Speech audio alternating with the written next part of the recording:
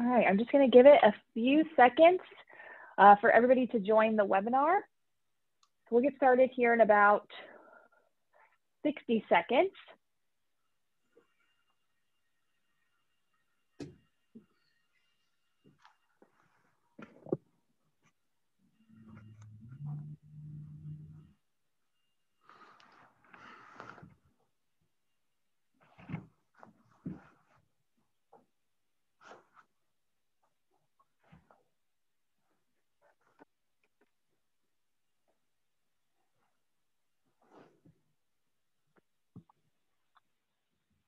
Okay, we are going to go ahead and get started. So hello everyone, and thank you for joining our clinical education webinar today. I'm Stephanie Drum. I am our product manager over our biopsy portfolio here at Argon. The focus of today's webinar will be the safety and efficacy of the 18 gauge full core biopsy instrument specifically for lung biopsies. And today we are honored to have Dr. Robert Bernstein, uh, interventional radiologist from the University of Diagnostic Medical Imaging in Bronx, New York, as well as Dr. Raj Kakarla, uh, interventional radiologist from Mercy Health Hospitals and Clinics in Illinois. So a friendly reminder, we will be recording this session to send out to all registrants at the conclusion of this presentation. Everyone will also be muted during this presentation, and I ask that if you have questions, please place them in the chat box and we will address them at the conclusion of the presentation. So without further ado, I'm going to pass it over to Dr. Robert Bernstein. Okay, thank you. So uh, we'll be talking, like, like she said, about 18 gauge full core biopsy instruments for lung biopsies. Uh, is it safe and efficacious? In a word, Yes. Thank you. Any questions?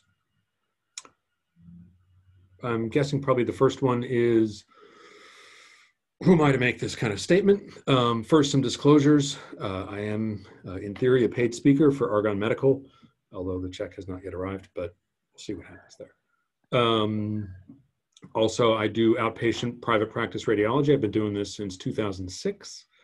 I average about 100 CT guided biopsies a year.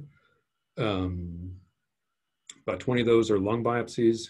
Uh, and frankly, uh, this is my favorite needle and biopsy gun. Uh, I love this device. It's great for uh, liver, lung, lymph nodes. You can do lytic bone lesions with this. You can take pieces of adrenal gland, kidneys, pretty much anything that you can see, you can get the BioPince and the uh, coaxial inducer into.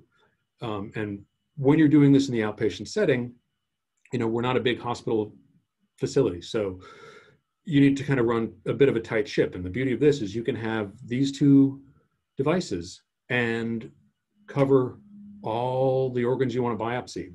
You don't have to have uh, 50 different types of needles stuck around and, and, hidden in your facility somewhere. These two things with the different lengths, it comes in uh, you know, short, medium, and, and long. And you can use those for everywhere in the body. The lymph nodes with this true core.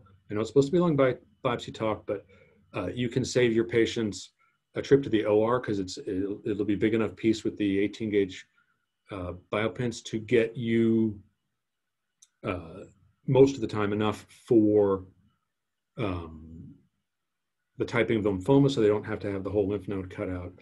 Um, and then when I was talking with the people at Argon about this, we went through the data and we looked at, we wrote a paper with them with some of their assistants in terms of statistics and things. Uh, there's the, the reference there, you can link to it. Uh, looking at, um, how do I move this? Sorry. Um, uh, full core biopsy device, we looked at 184 patients, uh, analyzing complication rates, procedure success. I did this with my, my PA. Uh, sorry. Uh, so between February 2009, November 2019, I did 196 lung biopsies here. Uh, we used 184 of them for the data analysis. Uh, the exclusion criteria was simply because we wanted to look at if lesion volume, XYZ axis, was uh, a contributing factor to success, failure, whatnot. Um, so we had to cut out 12. Of course, those 12 that we cut out had no issues, no complications. And it was just uh, like PACS upgrades, some files couldn't be up, re-uploaded, pulled back out of archive, or they're just really old and we couldn't reconstruct it into 3D to get the volume. So that's why we cut out those 12 for the analysis, but we did those. And uh, what we found, uh, average age of the patient, 70 years plus or minus 11, uh, the average size of the mass, uh, 2.4 by 2.4 by 2.7 centimeters. The smallest we'll go down to in the outpatient setting is maybe about 1.1 centimeters, um, but we can go up to, I mean, I've done as big as, you know, 10 centimeters, baby head size. Um, and the issue with that, and part of the reason why you want to use a full core, and we'll talk about that, and uh, the next speaker will also discuss uh, the benefits of doing the full core, is um, especially nowadays in medicine, it's not about the size of the mass. It's it's what type of cancer it is. It's what are the hormone and molecular receptors on the surface that really can help guide uh, treatment. And like the lady with the 10 centimeter lung mass, she didn't want to do the biopsy because she was convinced she was done. And I said, look, at least do the biopsy. This way, you can make your decision from a position of knowledge, not fear. And it turns out she had all the right receptors on it, all the positivity you needed positive, and she's fine. It's been four years now. She still sends me texts. It's really kind of nice. Um, so in terms of where the masses were of the 184 that we've done, 55% uh, were purely within the parenchyma of the lung. 45% at least had some little attachment to the edge of the lung, uh, evenly distributed throughout both lungs. Although for some strange reason, uh, very few were in the right middle lobe. Maybe somebody else knows why that is, but I, I don't. Um, of those devices, uh, I mean, of those samples, 98.4% uh, we got tissue, we got diagnosis. It was, uh, and that's what you really want to, you're not, what you really want to be doing is you want to get tissue for diagnosis. And you use this device 98.4% of the time, you're going to get diagnostic samples. Uh, we only had 1.6% that were non-diagnostic. Three of those were just purely necrotic, dead tissue. Uh, one of them, somebody had been treated with radiation. It was fibrosis. Uh, you know, if you're concerned about it, like I said, get a get a PET CT scan first, especially with some of the larger masses, because uh, as you know, with tumors, they they don't grow with the appropriate blood supply. So you'll have areas that are starving themselves, and it's not always just the periphery rim of the tumor that's metabolically active. It can be the whole top half of it can be just completely dead, and just a small portion of the bottom or the side. And so if you're concerned, get a PET. It can really help guide your needle to get uh, where you want to go. And that's what we wound up doing with uh, the patients that were necrotic. We had them have a PET so we knew where we were going. And then one of them was just a, it's a straight up miss. It's going to happen sometimes. Um, I was trying to be fancy and sort of go along the edge of the mass, and I went right along the edge of the mass actually. Um, so it's it, it definitely efficacious. And then in terms of device safety, uh, we had no complications in you know 77.2 percent. The 78.5 is if you look at all 196. Uh, minor complications, meaning you know clinically insignificant pneumothorax, hemothorax. Look, you're you're poking a needle into their lung. You're going to scratch it. You're going to they're going to bleed a little bit. They may you may get a little bit of air leak, but again, it's an outpatient setting. If if they go home, if they're fine, if they're pain free, is that really a complication? I, I, I don't think so. Um, you know, it's a major complication when you send the patient off to the ER. It's uh, that's what I consider a major complication. And with with this device, with this needle in our hands here in the outpatient setting, uh, two uh, percent. You know, we sent three patients to the ER that required chest tubes. Um, they were still breathing just fine. We didn't have, there was no emergency, just, just, you know, big 30, 40, 50% pneumo off to go, put a chest tube in. And all those patients, they went home either that day, I think, or first thing the next morning. And then there was one patient just severe pain issues. You know, it's an outpatient setting. We don't, we don't have a lot of um, sedation and things like that to do here. So if they're going to be a pain, you, you, you've got to find ways to work around that. So it's very safe. And you know, this is what I mean by minor complication. I don't know if you can see my little arrow here, but just a, a tiny little air leak because you, you, you, poked a needle into their lung. So it's going to leak a little bit of air. And with something like this, patient was fine, breathing just fine. So, you know, they go home. Um, so the way we do it in the outpatient setting here, uh, your basic biopsy tray, uh, real simple, real straightforward. You don't need a lot of stuff. Uh, you've got your chlorhexidine scrub brush, uh, the number 11 scalpel blade, because you've got to make the skin nick. That's really sort of the one drawback with this needle that I find is uh, the tip is not super sharp, so it doesn't cut through the skin. You have to make a little skin nick. And as with all things in life, the cut's either too big or too small. Let me try to make sort of just going a little bit of the tip of the blade, just enough to get the the coaxial introducer in without uh, having to force it through the skin. Um, some gauze, some steri-strips, some bandage, uh, towels and chucks are good to have because uh, they are going to spit up blood and you got to warn them about it. If they're awake, you got to warn them, hey, you're going to cough up some blood here. Don't panic. Um, and then, of course, the 17 gauge coaxial introducer and the 18 gauge BioPince. Um, and now, so why use a full core device? Let's be blunt. It gives a nice big piece of meat for the pathologist. Uh, it makes the pathologist happy, makes it easier for them. I mean, it was 20 plus years ago since I did my gross anatomy. You you can look at that and I can go, oh, that that looks kind of like intestine, I think. And yeah, this was metastatic colon to the lung. Um, also, like I was saying, in the era of targeted chemotherapy, right? You you tell your oncologist, hey, it's a positive for lung cancer. They're going to want to know, well, can you get the KRAS? Can you do the EGFR, the ALK, the ROS1, the PDL1? Um, for a breast primary, they need to know if it's changed its stripes. Does it still have the hormone receptors, the ERPR, the HER2? Uh, for your GR, GI, sorry, GI primaries, they're going to want to know the KRAS, the BRAF, the EGFR, the mismatch repairs. They're going to want all that. And if you're doing an FNA, uh, there's not enough cells for that. There's not enough tissue for that. The, the, the full core, uh, it sends off to the pathologist. So you can, when you call your referring oncologist, you can say, hey, it's positive lung, the KRAS, the EGFR, it's already cooking. It'll, you'll have those results within a week um, so that by the time they see the patient, they'll know treatment strategy, they'll know what to do. Plus, in the outpatient setting, we don't have a cytologist here. So you want to make sure you're getting enough for them to make the diagnosis. And as you recall from one of the earlier slides, 98% of the time, you get enough for diagnosis by using that full core device. Um, and it's also better for the patient as well, because they don't have to have a second procedure. They don't have to go back and forth. They get the answers for what type of therapy is going to work for them. And that's really what it's all about, is making this uh, easier on the patients to help them through this process. Um, but considerations for doing this in the outpatient setting because you don't have we, we don't have anesthesiologists uh, so they're awake and we're talking the whole time uh, patient needs to be able to hold the position for 15 to 20 minutes because when you think you can when you consider positioning on the table prepping them measuring all that things um, it's going to take about 15 20 minutes on the cat scan table uh, and do your pre-measurements ahead of time Think about how you're going to go in, patient prone, supine. Don't be afraid to move them around. Also, don't get stuck in one approach. Sometimes you look and there's a rib in the way, or there's when they lay them on their stomach, it flops in such a way that's not going to work. So put them on their side, put an arm up, put an arm down. Sometimes you get ribs that move in the way.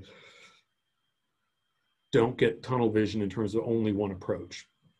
And sometimes that actually takes the longest part of the procedure is figuring out how to orient the patient so you have a nice straight path into the mass.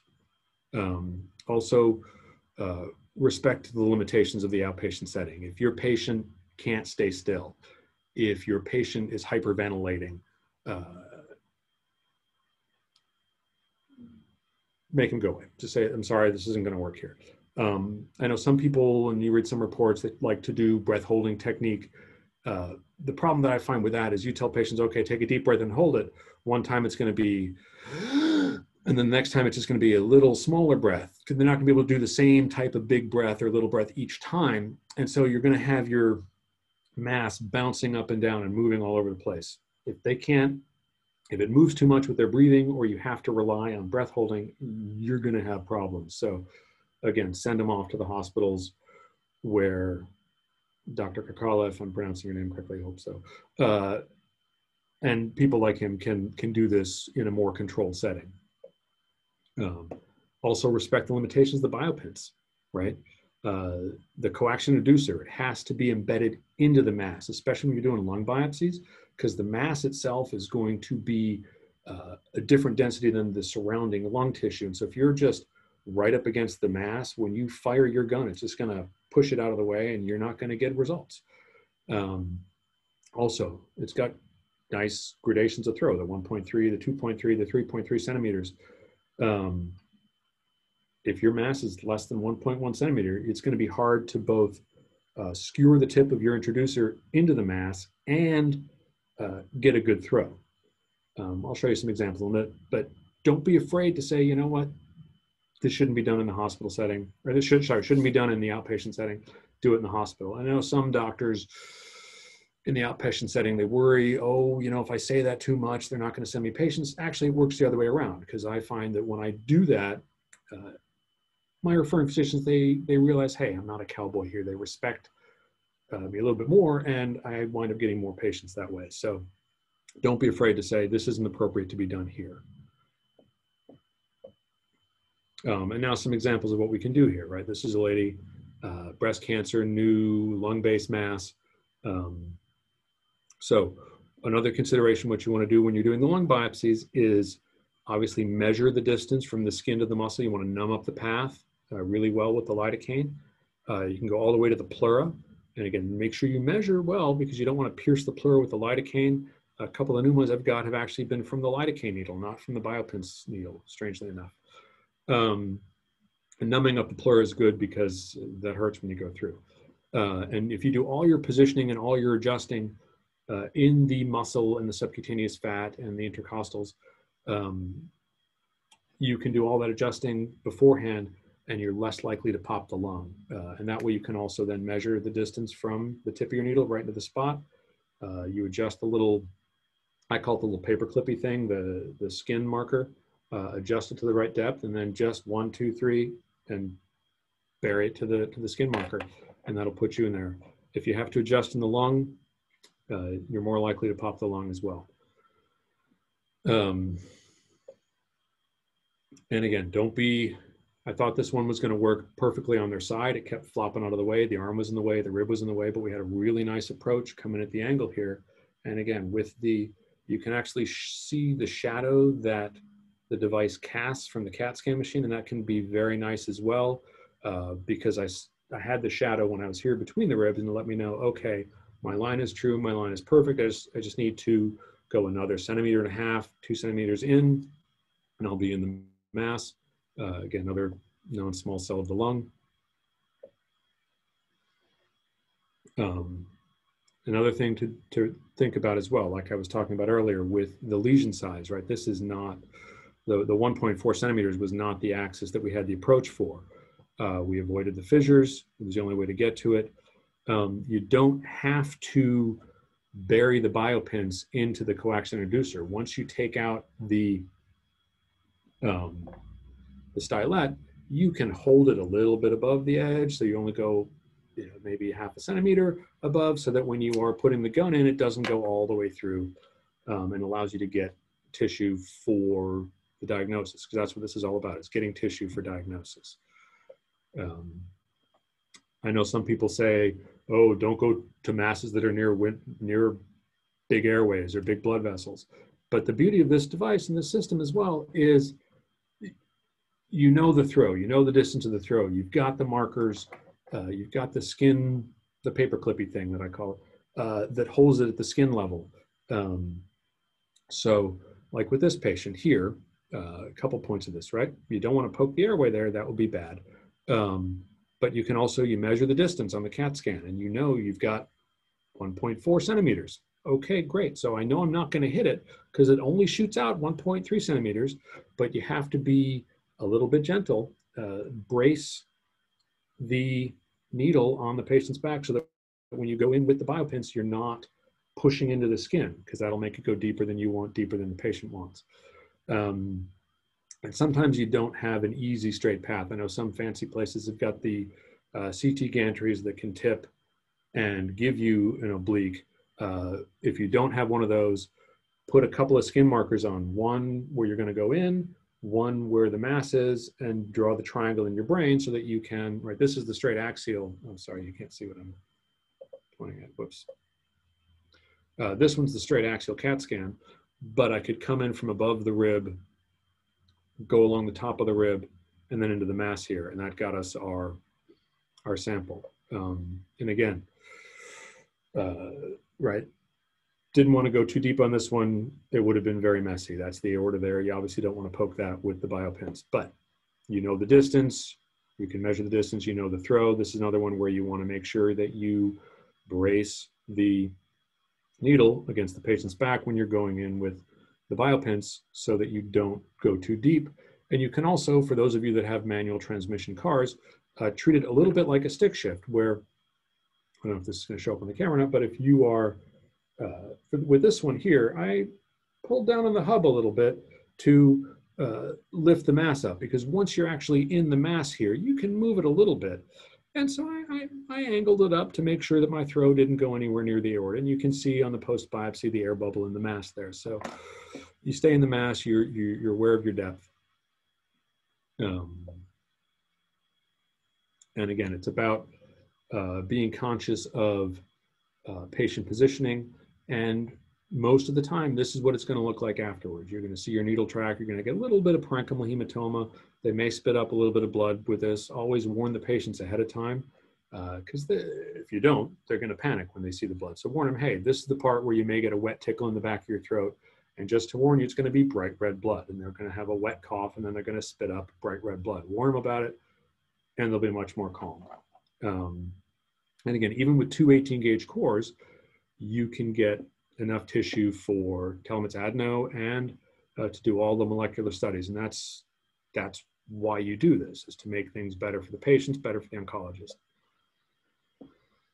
This one I kind of included partially just to, to because it's a really cool case and I, I really enjoyed it. Um, but also another another technical factor with this, right? This is this is the jugular vein. You don't want to poke that with the BioPince as well, but you can use your anatomic structures, your anatomic landmarks, where if you're looking for your pre-procedure planning, and you go with the measure, you can on your PACS just measure and you go, oh, hey, there's a straight line between the mass and the skin that I can draw that doesn't hit bone, that I don't have to go through bone.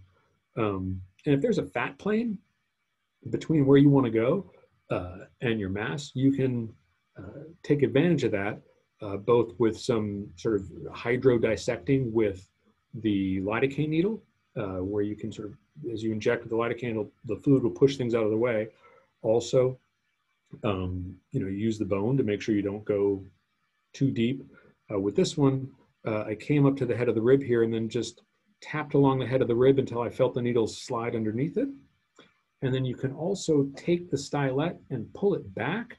So you just have the sleeve uh, and you blunt dissect with that. And that actually works really well both for uh, like this, and you can also use that in the, in the peritoneal cavity as well. Um, so to summarize a little bit here, for outpatient lung biopsies with full core biopsy device, it is safe, right? Uh, with proper technique and appropriate patient selection. Uh, we got 77.2% complication free. If you include all 196, uh, it's 78.5%. Major complications, only, you know, two, one and a half, 2% wind up going to the ER. Um, the rest of the stuff, does it really count? Uh, but one of the keys, like I said, patient selection. Keep your masses greater than 101.5 centimeters if you can. Uh, don't be shy about going, you know what, go FNA it somewhere else, especially if you're doing the outpatient setting. Um, and you're going to get tissue with this device 98.4% diagnostic samples in our retrospective study. Um, and don't be afraid to ask for the PET to help guide your needle. And then, like I said, it's a versatile system. You can use it throughout the body, not just for the lung. Um, but we're here to talk about lung and it works really well. We're very happy with it and our patients are very happy with it. And I think that now concludes my talk. Yeah.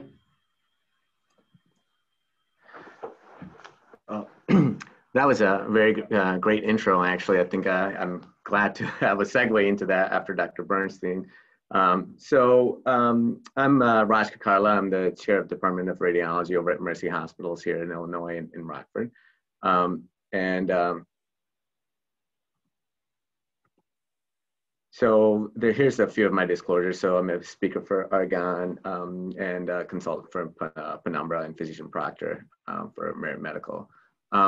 So um, this actually topic came about as a you know uh, area of friendly contention for me and my colleagues. So I'd been in a um, couple of academic practices um, in a hybrid academic and uh, uh, community-based hospital practice in the past. Went into private practice and uh, finally settled at Mercy. Um, so a different range of um, practices where you know different um, radiologists perform these biopsies. As you know, private practices, everyone uh, performs biopsies, including our diagnostic colleagues, our body imaging colleagues that are comfortable doing that. Um, so everyone had a different, um, you know, comfort, comfort level with either taking cores or uh, the size of the gauge or FNA. So um, this was, uh, you know, a friendly contention for a lot of us in terms of who was getting better samples. Um, and I chose to um, actually look into it as a QA uh, in my former practice, and that's how you know this uh, segue came about in our current practice. Um, so uh, a while back, um, a cross-sectional study was uh, basically performed as a web-based survey uh, for Society of Thoracic Radiology. It was actually sent out to the people that were members of Society of Thoracic Radiology in 2015, and uh, it was interesting the responses at that time. About um, 240 uh, members um, were surveyed. Um, out of those, uh, you know, a little over half performed lung biopsies, and most of them used CT or CT fluoro in 2015. Um, and 85% of them uh, performed at that point core needle biopsy or core needle along with FNA. And only 15% performed FNA alone. Um, and over half of them sent you know, material for molecular analysis. Now, why do I talk about that? Because this is such a stark contrast. Well, in this table actually just tells you what the ranges of FNA gauge needles and the core biopsy needles were. Um, most commonly, 20 gauge needle was being used for core biopsies. FNAs, I think most commonly 22 gauge was uh, being used, and most people used coaxial technique, um, as you could tell, over the half at least. Um, and both, it didn't matter whether they were doing FNA or core, most people performed at least, you know, three or more passes. Um, the pneumothorax risk, um, you know, during that study, um, you know, really um, you know, was not any different um, between the FNA um, or core biopsy. Um, and uh, so in most of the time, at least uh, the people performing the core needle biopsy used conscious sedation at, at least half the time. This was in a stark contrast to 20, 2005, um, where most people actually were only performing fine needle aspirations. So in, in 10 years, you see that people, a third of the people were performing core needle biopsy, whereas you know 85% of the people were pre- performing core needle biopsy in 2015.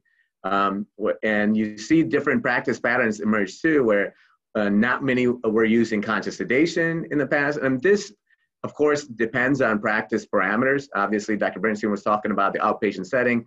Uh, I would imagine, you know, a lot of people were not using conscious sedation in outpatient setting, and that was the case when we performed it in, in an office-based lab um, as opposed to in the hospital, you know, we're always using conscious sedation, um, you know, especially given patient preference for that. Um, so that, you know, uh, is a significant trend um, in the, in the, over the past 10 years. Um, and in terms of uh, using CT, um, you know, not significantly different, but a little higher in 2015. so, you know, basically, you, there, the attendees, I think, is, are a wide range um, um, from both uh, technologists to um, guys early out in their career, people performing in the outpatient setting, inpatient settings, um, as well as um, some um, people in training. So, you know, we, we all know the different types of uh, FNA needles and, uh, you know, people have preference for different kinds and whatever's on the shelf. Um, you know, ours were mainly Franseen and Westcott's when we used to do them. Um, the core biopsy needles, um, actually, this becomes, um, you know, pretty good topic to talk about because depending on where you practice, um, in an institution may have, you know, one type of core biopsy needle. So it, it is, uh, you know, a point of contention between partners and what type of core biopsy needles, uh, you know, are being used. Um, uh, initially, when me and uh, my partner started looking into it, they were comfortable using um, the side cut. Um, so, what are the side cut needles? The Tru-Cut and the Temno are usually the side cut needles. Um, and uh, uh, I was using the full cylindrical core, which is the BioPince, and a couple other companies make the full cylindrical cores. But um, the reason this came about is because our pathologists preferred, you know, not to pat yourself on the back, but preferred the full cylindrical cores um, because it's less fragmented. And uh, this actually came up on one of our IR forums today, as a matter of fact, uh, in terms of uh, how to get better cores because we're in the era of molecular uh, testing when you need more sample, um, you know, more tissue. So if you if you can give anyone a less fragmented core, um, you know, obviously it would get you more tissue for molecular imaging testing. So, um, in a you know recent study at uh, that the Beaumont guys actually published, um, uh, FNA, um, you know, had a relatively high sensitivity when done properly, you know, 80 to uh, 99%, and uh, you know, pretty good specificity. And however, um, in, when you're looking for accuracy in diagnosing malignancy, there's a wide range from 60 to 97%. But um, you know, if you're looking to diagnose a benign diagnosis in a FNA, that was much less. Um, however, when you you know get a core biopsy, a definitive benign diagnosis was increased, you know, uh, twofold. Um, so, um, you know, this is not just because of home run, you know, slam dunk, uh, you know, PET positive lesions that you need to core, but, you know, also lesions that you're not unsure about. Um, core biopsies will definitely get you better yield in terms of being able to diagnose uh, benign etiologies. Um, so again, we're talking about lymphoproliferative disorders or even I sent I quite often send things that are um, you know equivocal for microbiology testing. So you know there you would want to have core um, you know samples. So um, here are the different types of core biopsies. We're talking about the cylindrical cores, which is the BioPince in the left side. The temno, um, you know, most often we're uh, always using the uh, coaxial needle. Um, and uh, there are sometimes, you know, with the evolution that uh, some institutions may not have the core biopsies I would always suggest using the coaxial technique. You're not, you don't want to traverse the pleura, you know, more than you want to. Once your coaxial um, introducer needle is there, you wouldn't have to traverse the uh, pleura um, any more than you need to. Um, so I think Dr. Bernstein, um, you know, went, uh, went over the techniques uh, really well in terms of angling the gantry, angling the patient, um, and you know, directing, um, you know, using your anatomy to direct uh, um, your approach to the lesion, uh, whether placing the patient prone, supine, oblique, um, you know, or in the lateral decubitus positions to get you the best access route to the needle. Um, and, uh, you know, all of us can either use the marking grids, which is what uh, I, you know, definitely use in my practice, um, or you can use BB markers or um, anything, you know, metallic objects to basically guide your uh, skin entry site and then uh, your access trajectory. Um, a few, you know, other, um, you know, things, you know, that uh, I will kind of, in the interest of time, gloss over, but, uh, you know, mention specifically are, um, you know, pleural-based lesions. You want to, you know, avoid directly, you know, accessing the pleural-based lesions. If you can get an oblique trajectory uh, towards the pleural-based lesions and through, um, that way you have less risk of pneumothorax. So you don't want to basically you know direct the needle straight at it you know if you can come in at a different angle um, so that um, you're traversing some parenchyma and before getting to the pleural base lesion that would actually avoid you um, getting a pneumothorax um, so le- relative contraindications so as dr bernstein was saying since i am in a hospital setting you know i take on lesions you know nowadays we're taking on like five millimeters to nine millimeter lesions you know because that's what you know um, people are asking you to do. You know, some of these can be PET positive, you know, although, you know, you're not seeing a PET positive five millimeter lesion, but there are lesions, you know, in, when you're looking at treatment response or metastatic lesions that even though they're small, um, you know, your skill set may be a, a test, but uh, more so that we are practicing in the hospital settings, we are doing smaller lesions. And therefore your, you know, complication rate may increase um, in, in that setting um, in terms of your pneumothoraces. But if you have a certain, you know, protocol-based guideline approach, um, your complication rate stays pretty much the same.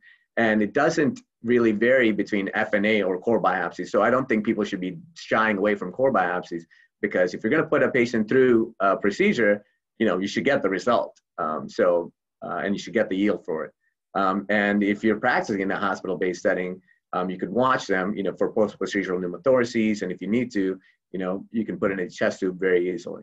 So um, here are a few relative contraindications. You know, obviously we know uh, all about uncooperative patients. You can't get them, you know, sedated and be cooperative. You know, don't do it.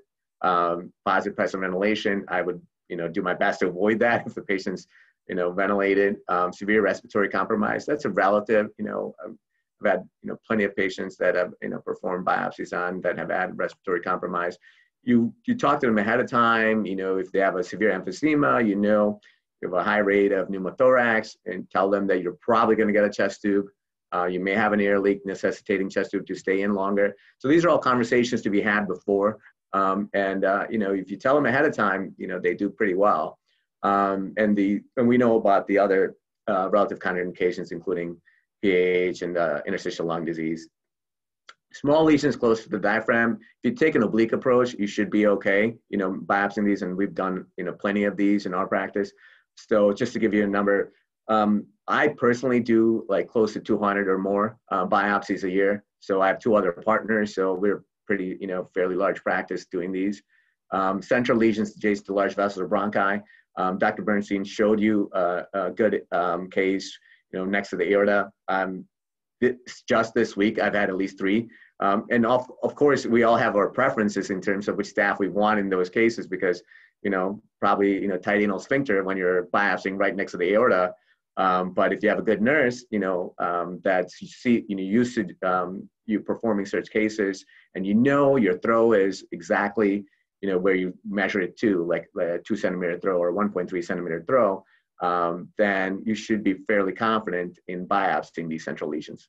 Um, adjacent to bronchi or adjacent to bronchioles, yes, do tell them about your risk of, um, you know, hemoptysis or you know, self-limited hemoptysis. I'll say, you know, yeah, they're going to spit up a little bit of blood, um, but it's nothing, you know, massive or life-threatening. Um, so do tell them about it, do know about it, um, and be prepared for it. Um, and uh, I think, you know, especially when doing it in a hospital setting, it's very safely done. Um, so I think, you know, all of us know about, you know, what we want for our platelet counts and INRs you know, over 50 and 1.5. Um, you know, we, uh, in certain patients, we you know, sometimes forego those rules, but uh, we try to stick to that most uh, often. Um, so um, this comes up quite often, especially from referring physicians. So I think you know having a certain standard set is um, should always help you with your referring physicians and patients because your coordinators are actually making those phone calls. You know they're telling the patients to hold their Plavixes and aspirins and that kind of thing. We don't uh, see the need to hold aspirin at all, so we don't want to confuse the patients. We never hold our aspirin uh, in lung biopsies, and we've yet to have any major complication uh, from that. Plavix we do hold for five days. Lovenox we do, you know, hold the last dose.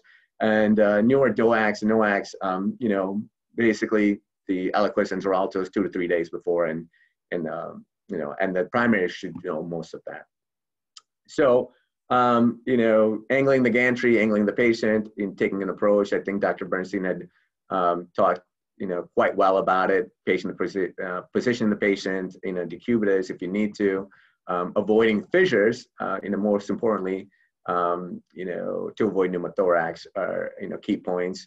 Um, and uh, important factors we had already talked about, avoiding chest wall vessels. You know, when people, you may want to give contrast if you think you can't see an internal mammary artery, but if you're going, you know, straight down, um, you know, close to the medial uh, portions. Um, intercostal arteries, um, haven't seen too much of that, although uh, I have to say I did get post biopsy from outside institutions where I've, I've had to embolize intercostal arteries. Um, so just be aware of it um, and minimize pleural transgression. So there, that's uh, the topic about using an introducer needle uh, and avoiding large bullae. Um, these are all things that you know you know people develop in their own practice and they see in their fellowships that they should uh, know well about before getting out and doing these kind of things. Um, the the one thing about avoiding um, you know the uh, central necrotic component, I think um, that's lost on a lot of uh, practitioners because you know they blame the pathologist. We do have on-site uh, pathologists, um, you know, because we're not in an OBL setting, and I do have them come, you know, pretty much all the time.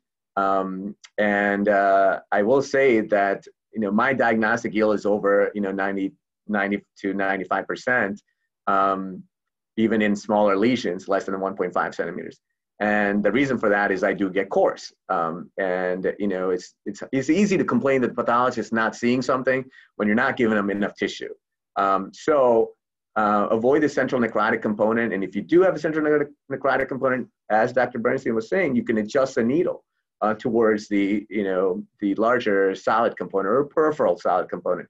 Um, if you're planning your CT, um, do it ahead of time so that you're um, aiming your needle towards the solid component. If it's in the periphery or if it's in the medial aspect, wherever it is, um, you direct it toward that.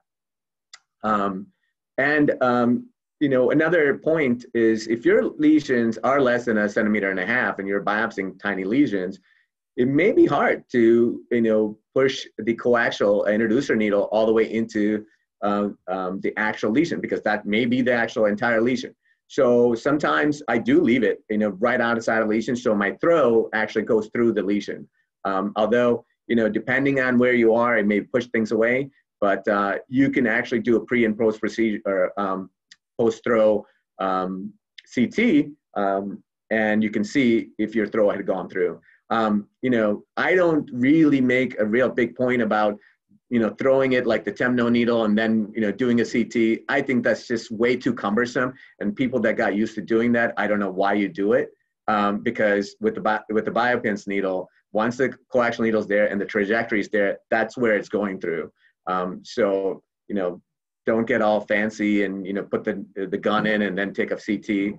I think that's just um, overkill and asking for complications. Um, and uh, and we had talked about our path, you know, towards uh, pleural lesions. Um, and uh, here's usually what what I do: I leave it at the edge of the lesion, and you know, if it's a small lesion, and then you know, take a trajectory through it, and you know that that's you got a good sample through that, and you'll you'll have actual tissue core you're seeing, and um, so uh, finishing up, you know, what do people do? I know I think this is kind of a you know you know, free for all. You know, I've used a BioSentry plug and autologous clot. Um, you know, I'll leave it up to our participants to kind of, um, you know, chat about and, uh, let me know as well. Um, I shot, I kind of backed away from using the BioSentry plug. Um, you know, I personally have not seen a, a lot of benefit from it because I use autologous clot now and it works just as fine for me. Um, so we just take a little bit of patient's blood, you know, just before I start the procedure you know, leave it on the table, and then I just inject the autologous clot through the introducer needle, and it, it works well to seal off uh, the pleural tract um, as long as you know where your pleural um, site is because you've measured it before.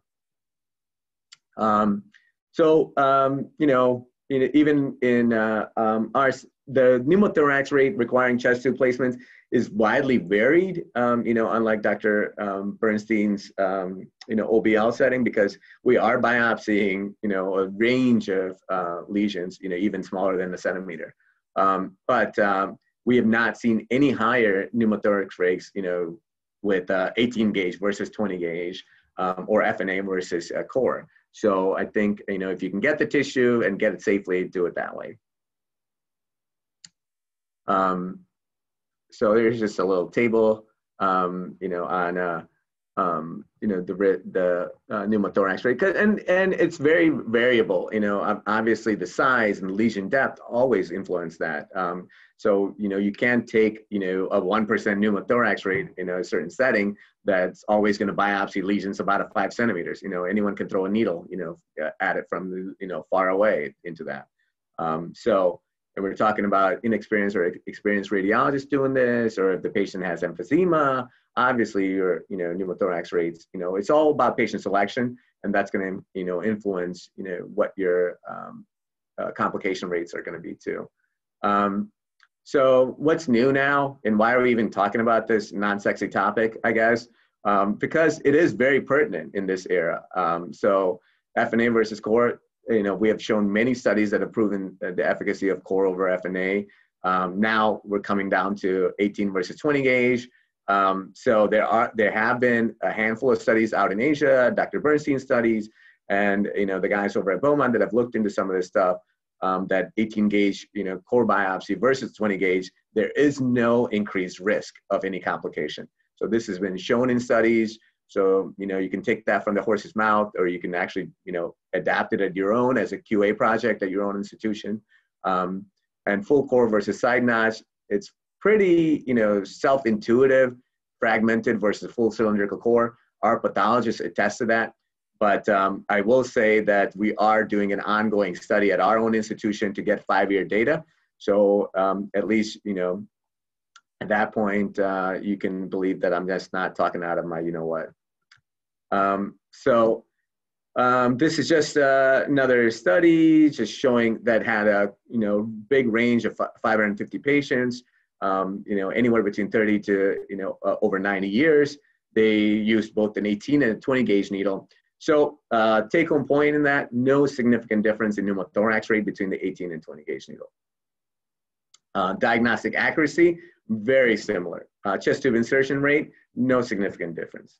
So, um, you know, this was actually a, you know, fairly large, you know, N number. Um, so, you know, if people want to um, and this came up during our um, IR forums that we have in terms of questions about different types of needles and do, is there any studies or is it subjective? Until now, it was subjective, you know, but if there's studies out there and you want to take it to the bank, here it is. Um, so we talked about the, you know, cytologic yield. This is pretty self-intuitive, but, you know, here it is that uh, um, that the 18 gauge needle um, you know yielded a good uh, diagnostic cytology with fewer passes. So um, we're talking about full core versus side notch devices. Um, here, I think both Dr. Bernstein and I are talking about the you know the BioPince because it's a full core cylindrical specimen. What I mean, the advantage of that is very um, you know uh, intuitive to the pathologist because they're seeing non-fragmented full core samples that they can actually you know, um, get better yield, you know, when they put under the microscope. So, and also you, they can send it away for molecular testing. So we don't do molecular imaging testing ourselves. We send it to Mayo. Obviously, you you know, more tissue the better. So here what here's what it looks like in a cartoon diagram. Obviously, um, and our experience uh, currently um, is very similar to the uh, Beaumont Hospital data in terms of uh, 18 versus 20 gauge, and then uh, our five-year data is still pending. Um, so here's some of our references. I think we've talked, and most of these references that I've included in the slides in terms of their study data. Um, and uh, that's about it. Thank you.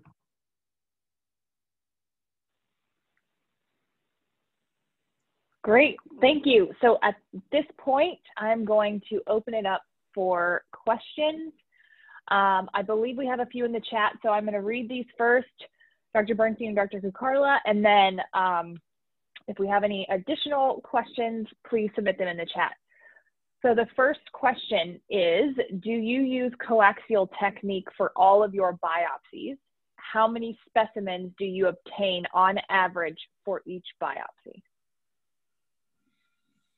Rob, you want to take that or I? Yeah, right. so uh, for the lung biopsies, yeah, coaxial for every, uh, every, every patient uh, like Dr. Kakarla was saying, you, you don't want to be going in and out of the lung multiple times. So the coaxial allows you to go in once into the mass, and then through that, uh, depending on the size of the mass, uh, minimum of two, uh, sometimes three or four, depending on uh, what it looks like when it comes out. But usually, you can get plenty of tissue with just two passes through the. At least in my in my experience in my office here, we get enough tissue for the molecular analysis with two passes with a you know the 1.3 centimeter throw.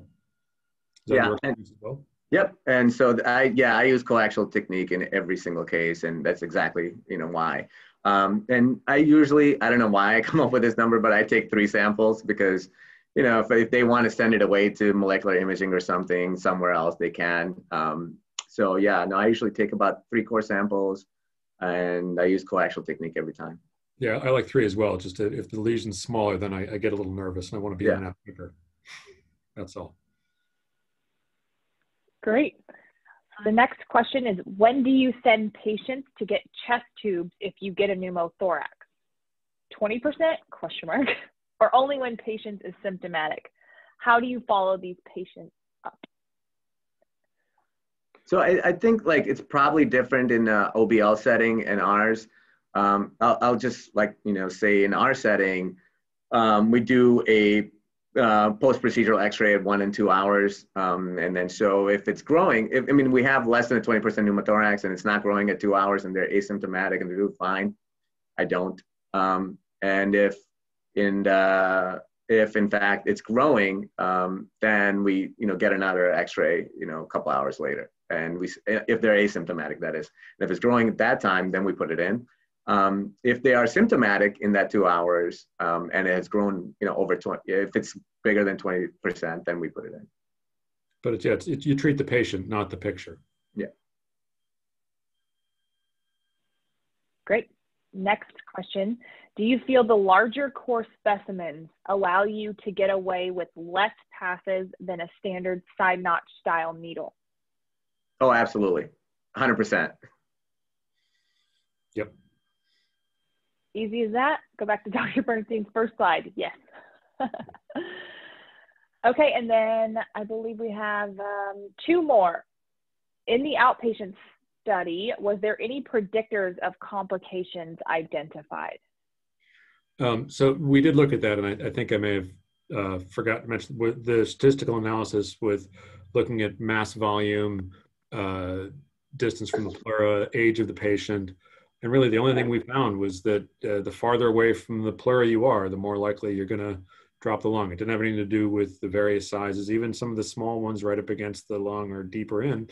That didn't change the numbers at all. It was just really how far, how much lung you have to transgress to get to the lesion. You're, the deeper you go, the more likely you are to get a pneumo.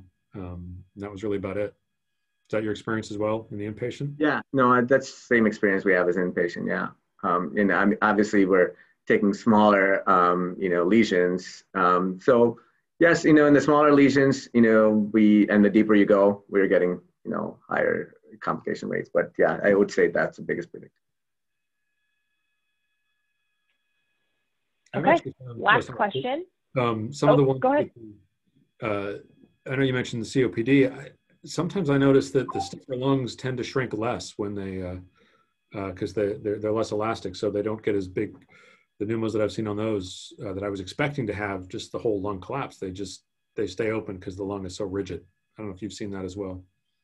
Um, y- yes and no. I mean, I think you know the the guys we see with uh, severe COPD also have um, you know some other um, concomitant interstitial lung diseases.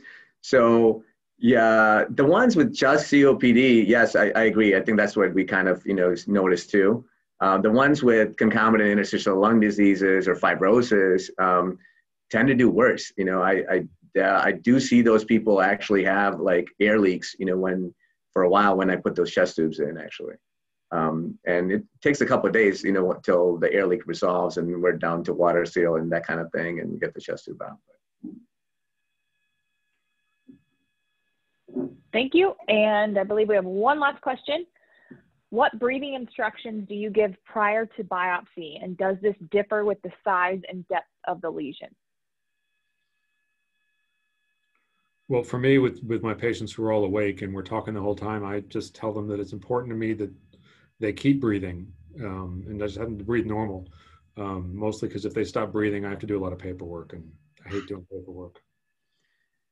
Yeah, no, I, I agree. I mean, I, I think Dr. Bernstein already mentioned this, you know, in his talk, like in terms of, you know, breath hold techniques and stuff. Everyone's so varied in their breath hold techniques. And then exactly, and I, th- I don't think it's very reproducible. Um, so if, if, if you have a lesion in the apex or have a lesion near, you know, the costophrenetic angle where you think like, oh, it's a small lesion, it's going to move quite a bit. Um, then I actually, you know, do a couple of scans ahead of time and see, if this thing is going to be you know targeted very easily or is this like all over the place? Um, so at that point then that's what i use you know depending on the patient. Because if you have a you know frail old lady you know who's hard, hard of hearing and she's not going to hold the breath hold for you when you're out of the room that's not going to work for you. Um, or if a young person in, in their 30s they're going to do the same instruction every time yeah, that may work in a small lesion that's that's moving along, you know. So I think it's all it's a very you know subjective thing. Um, but I tend not to give them any breathing. So I tell them to breathe normally, that like um, you know, like Rob said. Yeah. Great. Okay, we have two more questions. are any of you doing lung ablation? Has your availability to perform these successful biopsies increased your practice volume? Yeah, we are. Um, so, I mean, uh, obviously, because I'm in the inpatient setting, and I, I, I, don't know if Rob's doing these in the outpatient setting as well. Um, but we, we are doing lung ablation, and yes, it has because, um, and I'll tell you the reason why is I was in a practice before where we, where we had um, started a lung tumor conference. So that will aid, aid you um, along with your tumor boards that you go to in a inpatient setting. Because if you have a dedicated lung tumor conference, um, then a primary care can directly refer that you know to whoever the coordinator is to that lung tumor conference. Let's say, hey, I have this patient. Would you guys talk about him? You know, on your Tuesday uh, afternoon uh, lung tumor board and then that's usually the you know the IR doc and the pulmonologist and um, maybe the CT surgeon and the oncologist, and you can talk about you know whatever nodule you want to. And at that point, you have all the people there. If the guy has poor PFTs or you know poor pulmonary function, that's your lung ablation right there, and you you have all the people that agree with you to do that lung ablation too.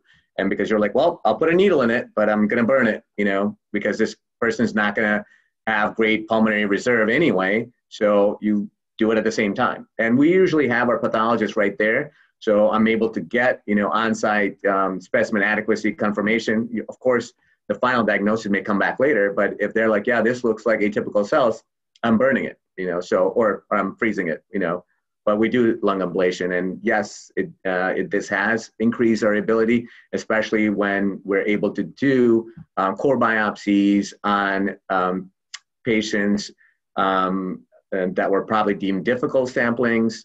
Um, and if they have poor pulmonary reserve, um, yes, it does say, you know, BOTAS to say, if I'm going to put a needle in that thing, I'm going to, you know, try to kill that thing. You know, we don't do that in the outpatient setting. So, but that's, that's, that sounds like a great way to do it. Last question. How long do you observe patients post lung biopsy? So in my office, we keep them an hour. Um, uh, I've we found if we keep them longer, it doesn't change anything. Um, so I tell the patients plan on being here about two hours. Uh, you're going to have about a, ha- a, half an hour of filling out paperwork, talking about the procedure, half hour for the procedure, half another hour of observation, and then off you go. Yeah, I think um, so. It's a we have three partners. So um, I we well routinely we keep them two hours. Um, if there was nothing, was uh, run of the mill, and the first X-ray at that one hour looks good, I send them home in an hour personally. Um, my partners, I think, still keep them about a couple hours, two hours. Okay, thank you. I believe that was the last question.